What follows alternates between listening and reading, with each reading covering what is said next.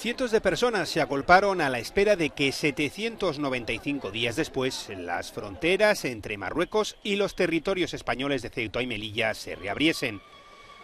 Cerca de la medianoche los agentes abrieron las verjas, cerradas durante más de dos años, desde el 13 de marzo de 2020, por la pandemia y la reciente crisis política y migratoria entre Madrid y Rabat.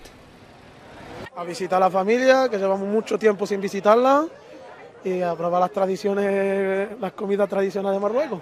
Hace un año que no veo a mi hijo y la verdad que estoy ahí algo contento de salir para verlo por lo menos. De momento, el cruce por el paso fronterizo está permitido únicamente a aquellos que puedan moverse con libertad por el espacio Schengen y sus familias.